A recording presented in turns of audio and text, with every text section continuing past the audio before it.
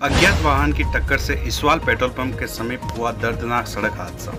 Bike सवार काका भतीजी की हुई मौत, एक घायल।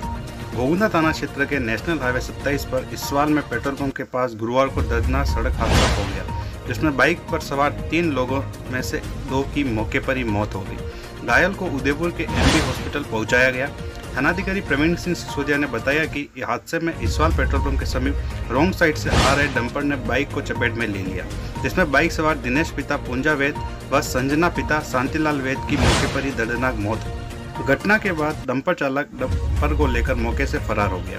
घटना की सूचना मिलने के बाद गोविंदा थाना पुलिस में जाता मौके पर पहुँची।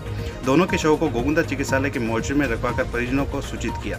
इस हादसे में विशाल वैद गंभीर घायल हो गया, जिसको इलाज के लिए एमबी अस्पताल वह भर्ती करवा जानकारी के अनुसार बाइक पर सवार रिश्तेदार है। तब तक रिश्तों में चाचा भतीजी है। चाचा भतीजा व भतीजी बुधवार को पूर्णिमा होने के जिराई गाँव के बाबूजी के यहाँ दर्शन को आए थे और वापस उदयपुर जाते समय करीबन दो बजे के आसपास हादसा हुआ। परिजनों को हॉस्पिटल पहुँचाने के मृतकों को पोस्टमार्टम कर सभी परिजनों को सुपुर्द किया गया।